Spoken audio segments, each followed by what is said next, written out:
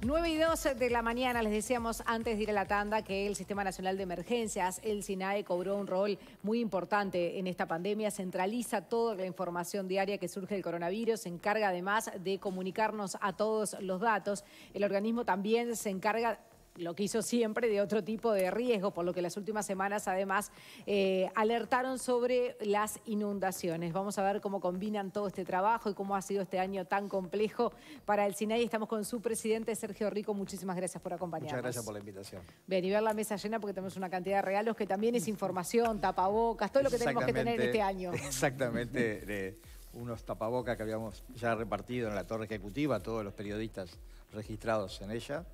Este, y acá una guía familiar sobre todo las, los posibles riesgos que puede tener una familia ante distintas emergencias, que como ustedes bien habían dicho, este, estamos con la pandemia, pero también estamos atendiendo inundaciones, eh, ya nos estamos preparando para la temporada de, lamentablemente, incendios. que hay un pronóstico de clima bastante este, seco, muy complicado. Ayer tuvimos una reunión muy buena en Maldonado con todos los ECOED de Rocha, La Valleja, Maldonado y Canelones, las Fuerzas Armadas, eh, bomberos, caminera. ¿Cómo se trabaja en la previa en ese sentido? Bueno, se está coordinando primero todo el tema de comunicaciones, los comunicaciones eh, internas, en el sentido de los propios aparatos de comunicaciones. De alerta, De alerta, que no haya problema, que el piloto de helicóptero sepa dónde tirar el agua, que todo esto esté aceitado, que los sistemas de alerta estén también funcionando. van a haber muchas patrullas de Fuerza Aérea y de la Policía con sus aeronaves. La Armada Nacional también va a colaborar con los dos helicópteros nuevos que, ha adquirido. Entonces vamos a prevención? Bueno, la prevención, eh, posiblemente la semana que viene ya estemos en una campaña de publicidad junto con el Ministerio de Turismo, donde vamos a difundir algunos videos que se lanzaron la semana pasada en la semana de riesgo de emergencia en el SINAE. hicimos 20 piezas audiovisuales con apoyo del BID y PNUD, este, donde hay 20 piezas que resumen los riesgos en diferentes emergencias. Hay tres correspondientes a incendios que apuntan a la prevención. Prevención de la familia cuando va a hacer un asado, que tenga cuidado con su fogón, piedras alrededor, distancias eh, fuera de los bosques, eh, estar seguro que apagaron el fuego y no simplemente tirar un poquito de arena. Eh, también el hecho de eh, los lugares donde se prende el fuego, donde se quema, las quemas que hasta ahora por decreto de presidencia terminaban el primero de diciembre, eh, las vamos a adelantar para el 15 de noviembre, ya está pronto el decreto que va a salir en cualquier momento promulgado. bueno, y ahí vamos en la, previsión, o sea, educando al público, este, con campañas televisivas, campañas en redes sociales y también en charlas. Eh, nosotros tenemos una persona que recorre todas las escuelas rurales del país, dando clase a los niños sobre cómo tienen que actuar ante diferentes emergencias. Que también es bueno para los docentes que están en esas zonas rurales, después el niño va a la casa y también lo comenta con los padres. Entonces, esa capacitación que damos al niño indirectamente también es una advertencia a todos los padres.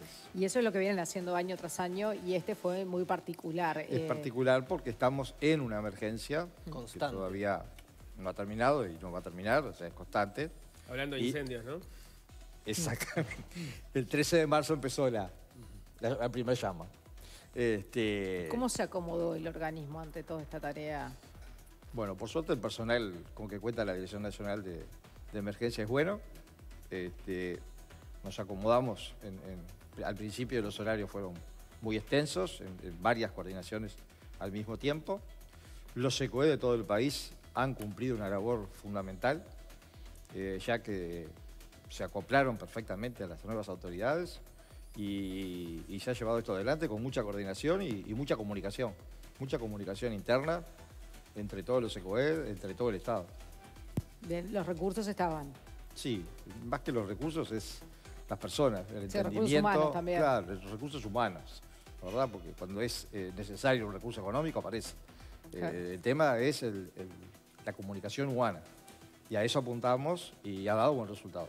Bien, recién estábamos en contacto con Rivera, un departamento que bueno que se han tomado medidas especiales por las últimas cifras. ¿Cómo se viene trabajando allí? Bueno, nosotros, eh, el SINAE es un medio articulador, no, no es que disponga de medidas. Sino que las medidas que se toman políticamente, el SINAE ayuda, colabora en articular. Así como, por ejemplo, en los pasos de frontera, este, se tomaron la decisión de, distintos puntos, bueno, el SINAE colabora arrimando los tapabocas, túnicas, guantes, eh, llamando a ver si hay algún problema en la comunicación, porque también tenemos que afrontar los, temas de comunicación de una fuerza con otra fuerza, dentro del Estado mismo. Este, y bueno, y en esa colaboración estamos, esperando siempre... ¿Qué ha sido lo más complicado? Lo más complicado creo que es la comunicación con, la población en, el tema este de la libertad responsable, ¿verdad? Que los ECOED han tenido su trabajo, no imposible, lo han hecho. Este, yo quiero felicitar muy personalmente al SECOED de Rivera, que ha, tenido una labor fundamental en, la interrelación con las autoridades de liberamiento, con campañas este, binacionales. Este, hicieron dos campañas, este, la frontera, dos, dos banderas, una frontera, este, frontera segura, donde en la noche vehículos de ambos lados salen a fumigar, a limpiar, a repartir tapabocas de mañana y no importa que, un uruguayo o un brasilero esté de una franja o de la otra. Y, eso es, nuevo, creo que es una gobernanza binacional que va a haber que empezar a, ensayar para el futuro, para cualquier otra emergencia. De repente puede venir un día un tornado que agarre justo la, la, frontera. Bueno, ¿cómo accionamos? Este, lo mismo alguna inundación por otra zona como Artigas, o sea, esto, eh, si se quiere, ha ayudado a una mejor comunicación entre autoridades de, ciudades que son binacionales, y es un, pueblo único, ¿no? con características únicas. Sí, en las últimas semanas anunciaron un nuevo sistema de alerta temprana por inundaciones. ¿En qué consiste, en qué consiste esta alerta? Bueno, ese es un, sistema de alerta nuevo que es utilizando una tecnología, ¿no? Que... Es un modelo que hace correr otros modelos. Eh, se inició con apoyo del exterior. Cuando nosotros asumimos ya estaba en la fase terminal en, el ensayo, eh, ya se ensayó en Durazno principalmente, y el modelo corre para Durazno y Artigas, o sea, para el río Xi y el Cuarem.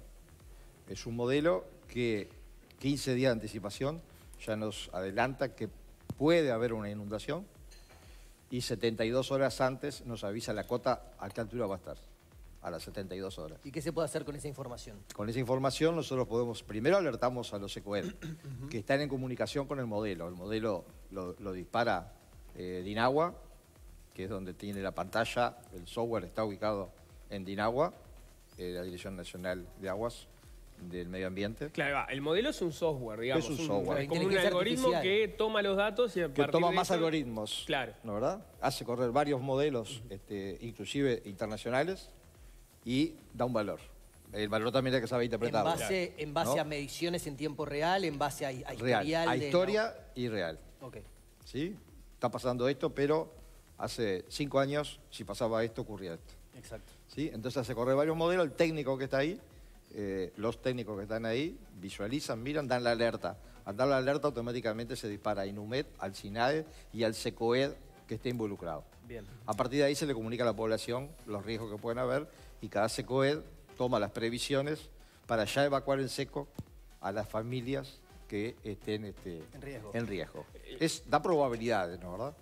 Pero eh, la última vez que lo, lo, pusimos a prueba, la medida que nos dio a 72 horas fue exacta. Ahí está, ese es el ensayo que dijeron de Exacto. en qué consiste un ensayo de un No, tomamos, eh, fue, fue de verdad. O sea, eh, se venía el agua. Lo probaron y... la cota decía que iba a estar a 9.70 creo, algo así, en determinado lugar, a las 72 horas. Eh, había solamente una familia en riesgo, se evacuó esa familia. Y, el agua después se fue a comprobar a las 72 horas dónde había llegado el agua y había llegado exactamente. O sea que es, diría, 90 y pico por ciento de probabilidad de que es, es seguro. ¿La familia lo aceptó? Porque... Sí, perfectamente. Eh, en Durazno creo que hay ya una campaña de años en que las familias van aceptando eso, ¿verdad? Este, que también es otro trabajo. Una cosa es evacuar cuando el agua ya está y otra que diga, no, mira, hay un programa que dice que... Hay un programa que dice que dentro de tres días... Va a llegar el agua. Te va a llevar el agua a la casa. Ah, me imagino que, hay gente que no querrá creerlo, digamos. Ese es el trabajo del SECOED.